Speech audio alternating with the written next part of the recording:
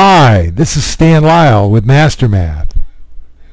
During the lesson, you're going to come to some You Try It slides where you're asked to do problems that relate to the lesson. Hit your pause button, try the problem, and then hit the forward key to move on to the answer. I hope you have a really good time today.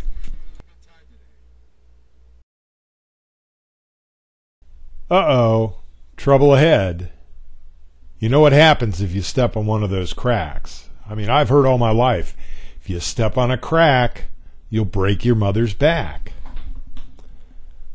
Well, I'm not sure I believe that though. I mean, we've got two events here. We've got the event of either stepping on this crack or not stepping on this crack, and we've got the event of your mother either breaking her back or not breaking her back. And I don't think your mother's health is dependent upon whether you step on a crack or not. I don't think those two events really have much relationship to each other. I think they're independent events. Well, that's what we're going to talk about today dependent and independent events. And you're going to need to learn to distinguish between dependent and independent events and understand how the probability varies when events are dependent. Let's look at some examples. And first we'll look at an independent event. Let's say your father's got a whole bunch of popsicle flavors. He's got five different flavors, and you really want a green one. And he's going to pick one of these flavors at random and give it to me first, and then he's going to pick another one at random and give it to you. Well, Let's say he picks a green popsicle for me. Now he's going to pick a popsicle for you. But before he picks that popsicle, he goes back to the freezer, gets another green popsicle, and brings that out. And now he's got, again, five flavors of popsicle, and he's going to pick one for you. Well, your chances of getting green are one in five. There's one way to win a green popsicle, and there are five potential outcomes. The two events were independent. Your probability of getting a green popsicle wasn't affected by the fact that I got a green popsicle because we replaced the green popsicle after my popsicle was chosen. Now let's look at dependent events. Let's say, again, your father picks a popsicle for me first, and then he's going to pick a popsicle for you. But after he picks a popsicle for me, he's not going to replace the color that he gave me, so there'll be one fewer potential outcomes. For instance, if he picks a popsicle for me and it's red, and you still want a green popsicle, then you've got a one chance in four of getting the green popsicle because I took out one of the potential outcomes, the red, and it left just four potential outcomes. So your probability would, in that case, be 25% of getting a green popsicle. But what if I got lucky and on the first draw I got a green popsicle? Then there'd be no green popsicles left and just the other four flavors. So you'd have zero positive outcomes, zero ways to win out of four potential outcomes, and your probability of getting a green popsicle would be 0%.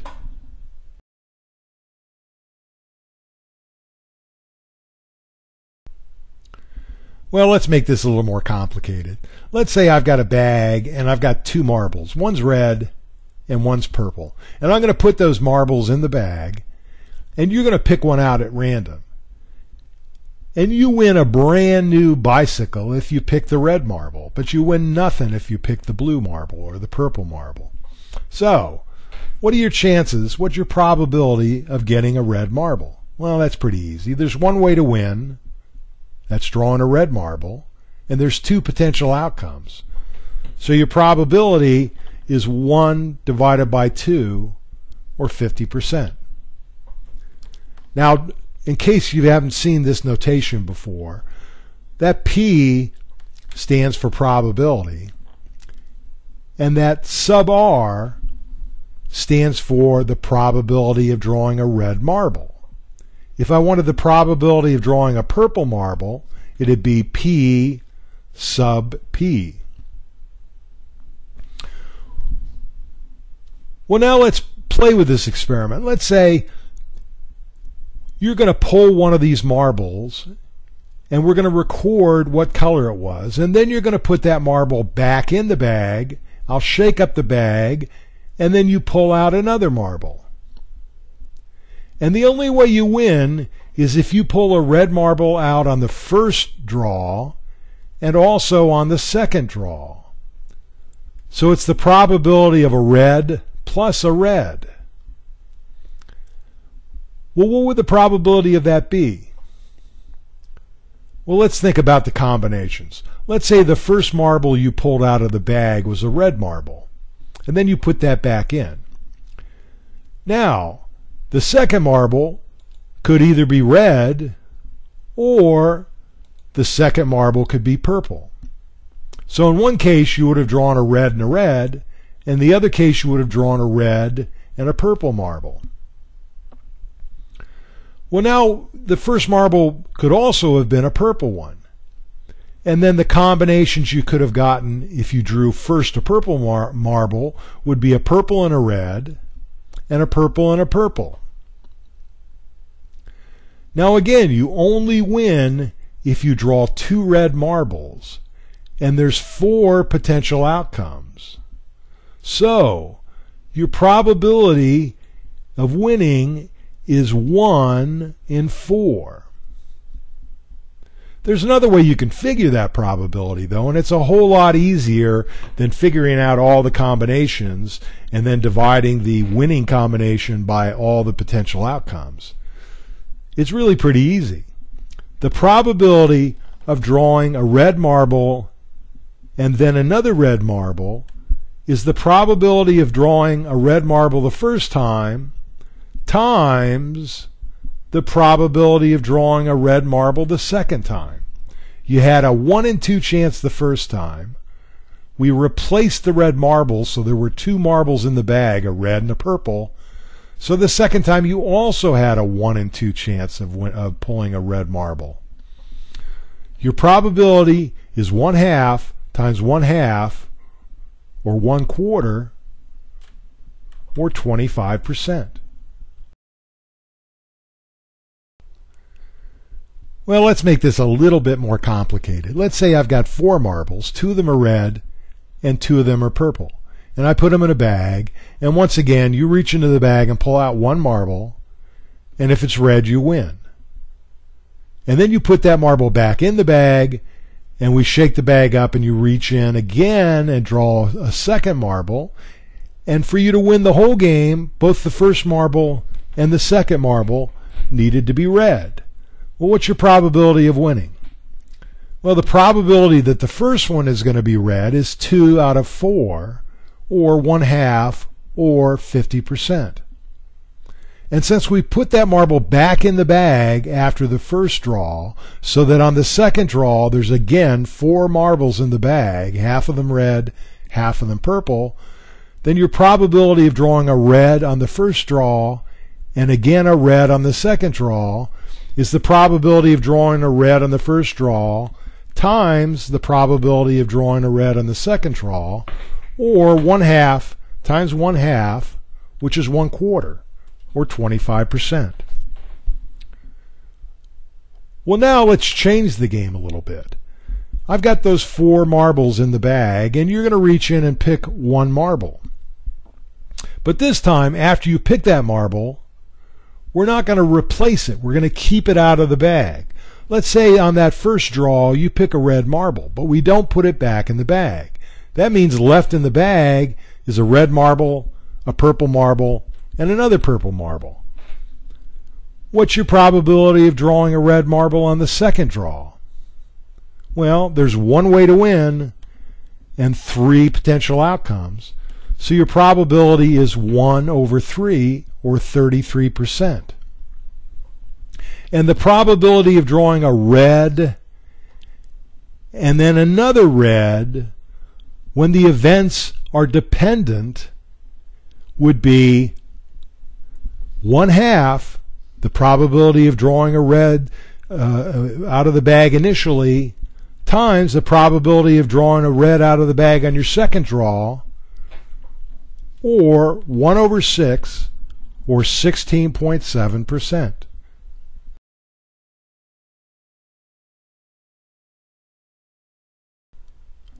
So, two events are independent if what happens on the first event does not affect the probability of the second event. And two events are dependent if, if what happens on the first event does influence the probability of the second event. And if we want to calculate the probability of two independent events, it's just the probability of each of those uh, events separately times each other. The probability of A happening plus B happening is the probability of A happening on its own times the probability of B happening on its own. But if they're dependent events, that probability has to be calculated differently. The probability of A plus B equals the probability of A times the probability of B after A has happened, or in other words, adjusted for the outcome of event A. Now, there's one more thing I want you to understand, and that's if we have multiple events, more than two events, the same probability formulas work. If I had three events, the probability of A plus B plus C would be the probability of A times the probability of B times the probability of C.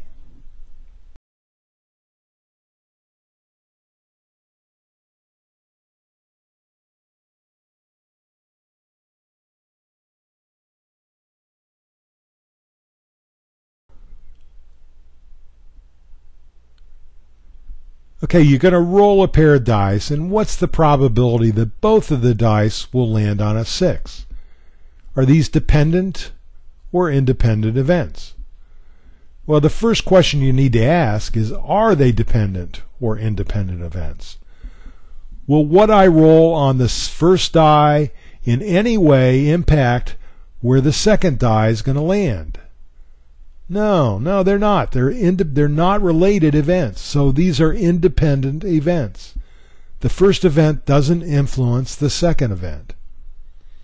Now, my calculation of the probability would be the probability of rolling a 6 on the first die times the probability of rolling a 6 on the second die.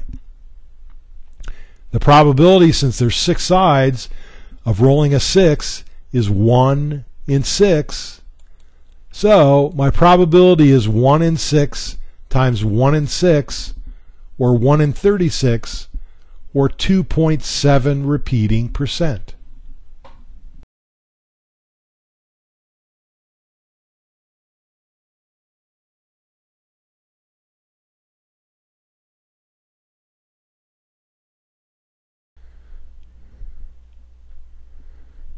Okay, there's four puppies, and half of them are male. There's two male and two female puppies. And you're going to randomly pick two puppies. What's the probability that they'll both be both be female?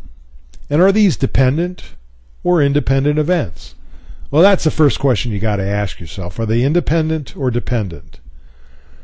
Well, the first time you pick a puppy, there's two males, two females, or there's two females out of four, so your chances of getting a female are 50%. But we're not going to replace that puppy because you're going to keep them and take them home. So when you pick the second puppy, there's one female and two males, and your odds have been changed. So these are dependent events. And the probability of drawing a female plus a female is 2 and 4 times 1 out of 3, or 2 over 12, or 16.6 repeating percent.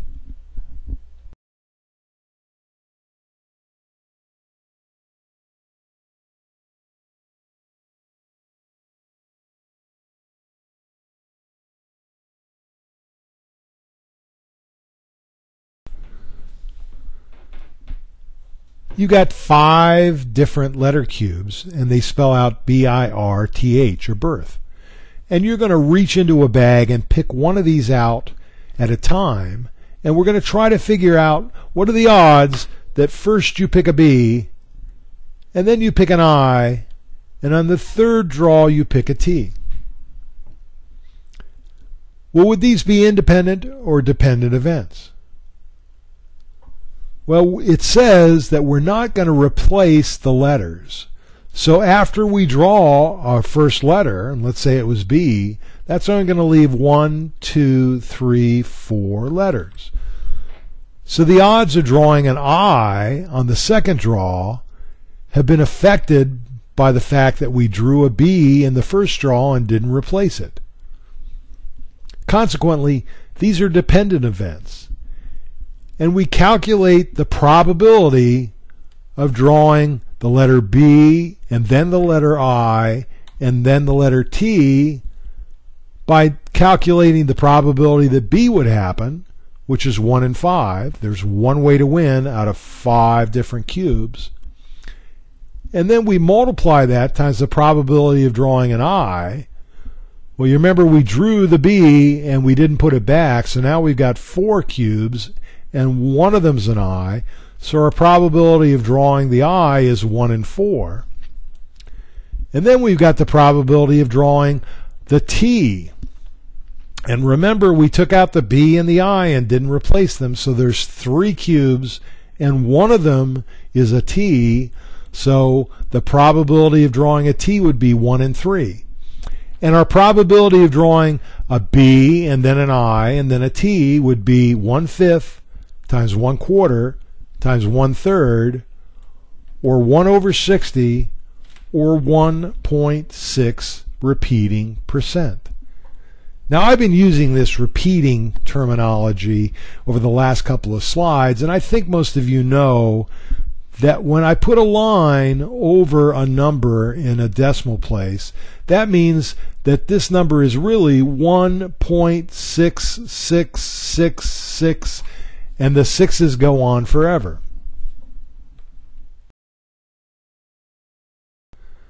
Well, that's our lesson on dependent and independent events. Now it's time to test your skills. Go to www.mastermath.info and download and print the worksheet on dependent and independent events. After you tried the worksheet, go back to MasterMath and try the quiz on independent and dependent events. I hope you understand the difference now, and I hope you had a pretty good time. And I hope I see you again real soon.